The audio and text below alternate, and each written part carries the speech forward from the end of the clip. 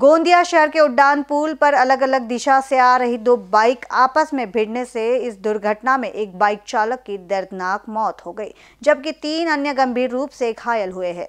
ये दर्दनाक दुर्घटना आज 10 जुलाई को दोपहर ढाई बजे के दौरान की है। शहर के doctor Kushal Agarwal neurosurgeon ने समझदारी दिखाते हुए अन्य लोगों की मदद से केटीएस जिला अस्पताल लाया, जहाँ सचिन जीवनलाल बघेल 27 वर्ष निवासी कन्ना टोला पीट के पार को मृत घोषित किया गया।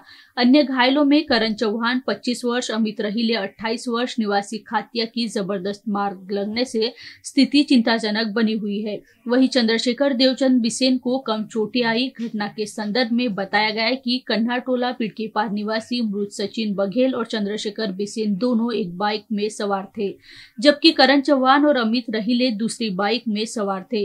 बाइक की स्पीड अधिक होने एवं असंतुलित होने पर दोनों बाइक एक दूसरे से भिड़ गई। ये भिड़त इतनी ज़बरदस्त थी कि एक की मौत हो गई, जबकि तीन गंभीर घायल हुए। इनमें खातिया निवासी एक युवक की हालत अत्यंत नाजुक बताई जा रही है। गंभीर हालत को उचित उपचार हेतु गोंदिया से नागपुर रेफर किया गया है, जबकि उनके परिजनों को इस दुर्घटना की खबर दे दी गई है। गोंदिया से इनबीसीएन न्यूज़ के लिए अभिषेक भटनागर की रिपोर्ट।